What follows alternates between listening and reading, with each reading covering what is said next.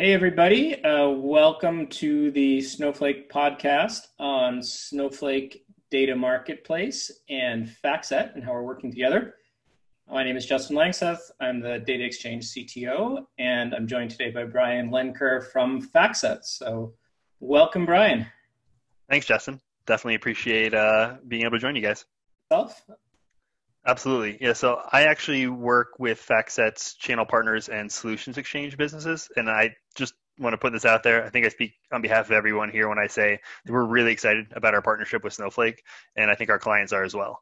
Um, but for, for over 40 years, um, FactSet has really been working with the world's financial professionals, and they've been relying on us at pretty much every stage of their investment process. I mean, that could be idea generation, research, probably going all the way down to things like risk management, reporting, and portfolio analysis. Um, but what, we, have really aimed to do was to create a seamless user experience across that whole process. Um, but of course, our, our main goal is really to help our clients, you know, drive their productivity and performance. And, and to meet that need, FactSet offers quite a number of different flexible and open solutions covering software and data. Um, but today we're here mostly to talk about the data piece. Um, and FactSet is known for being able to combine our unique proprietary data sets um, along with in-house data um, and more recently third-party data on the open FactSet marketplace. Um, so we're, really doing this to help help our clients see and seize opportunity sooner. And partnerships with firms like Snowflake, I think, only help to accelerate the benefits to to everyone involved.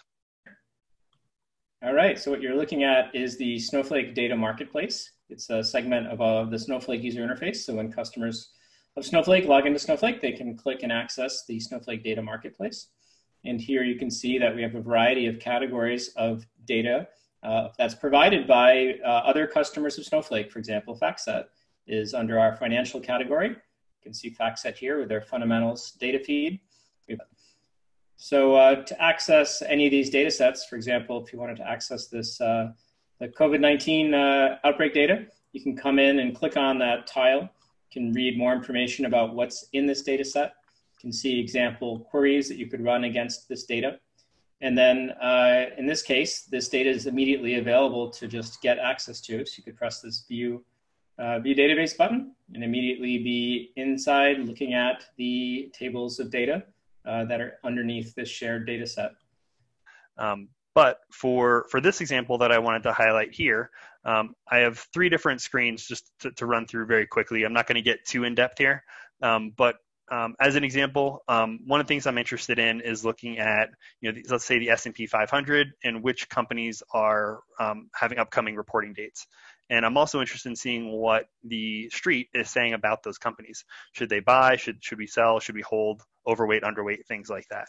Um, so I'm pulling in data from three different data sets, and they're all at different symbology levels. So for to start, I'm going to pull in um, the membership for VOO, which is Vanguard's ETF for the S&P 500, um, and I can pull in all the current holdings for that.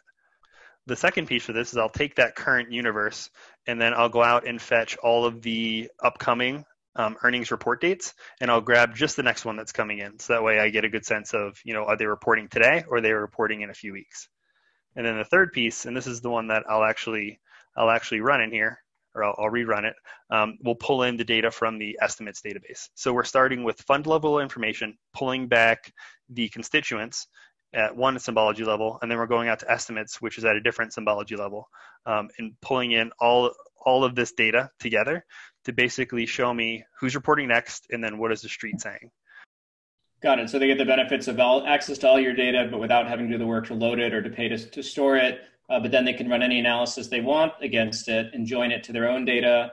Um, I guess even use like external BI tools like Tableau or Looker or, or what have you, or machine learning tools like H2O, H2O, or Dataiku or something like that. Um, exactly.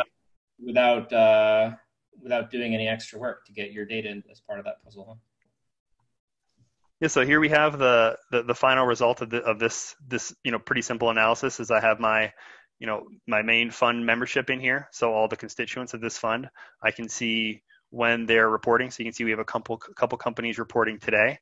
Um, and then you can see how many analysts in here are essentially saying, should you buy, hold, or sell, um, overweight or underweight, and then the total number of contributing analysts here. Oh, that's very cool. Thanks for showing us a little bit of glimpse into your data and the data that our joint customers could get access to just through this uh, marketplace mechanism.